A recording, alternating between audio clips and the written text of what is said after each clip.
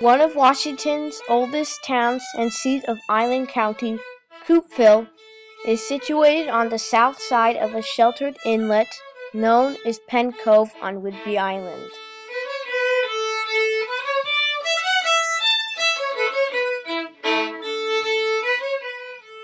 Coupeville was once the site of three permanent Lower Skagit tribal villages, and in the 1850s, the area was settled by sea captains and farmers. Coupeville was named for a sea captain, Thomas Coupe.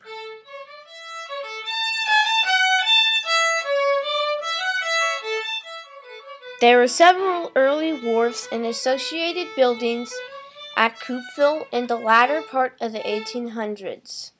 They were built for passenger travel and importing and exporting products between the island and the mainland. In this scene, Happy Jack's wharf is on the left and the U-shaped wharf is on the right. The U-shaped wharf had the advantage because of its shape that horse and wagon teams did not have to reverse.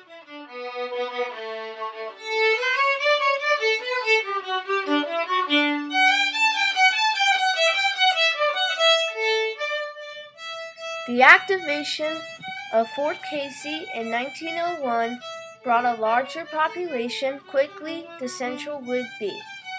To accommodate the growth, local merchants and farmers built a 500 foot dock extended into Penn Cove at the foot of Northwest Alexander Street. The current Coupeville Wharf was erected in 1905 this is a view of the wharf during construction looking towards the town. Central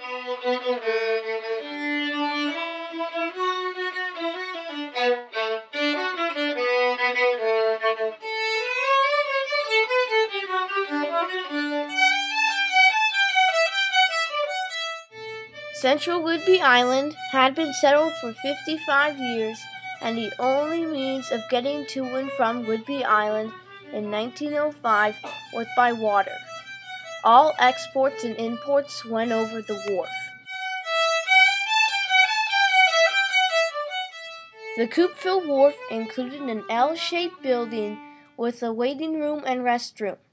The wharf also served as a passenger ferry terminal and became an important community center.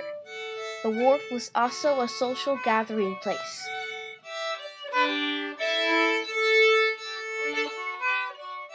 One of the early purposes for the wharf was to also supply fuel for the steamboats.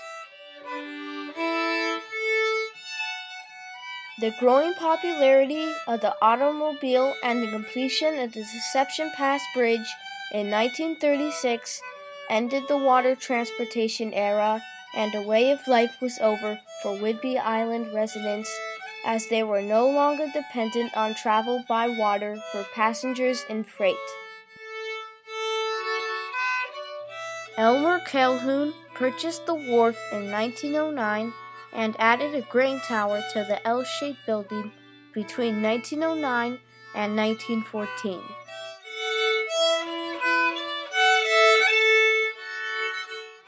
In 2000, a new attraction was added when the Washington State University beach watchers salvaged the bones of a stranded 33 foot gray whale.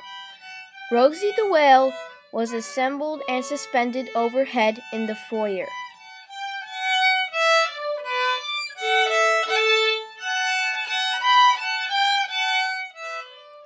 The Coupeville Wharf is listed on the National Register of Historic Places it is also a part of Ebey's Landing National Historic Reserve.